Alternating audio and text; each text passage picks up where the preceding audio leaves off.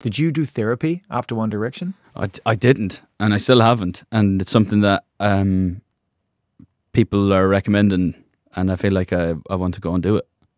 I'm a fan. Yeah.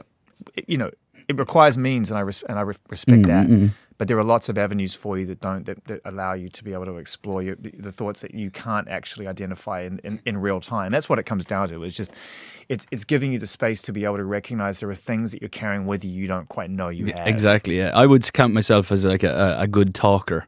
I've got no problem telling people how I feel, but I feel like, as you say, that's just surface.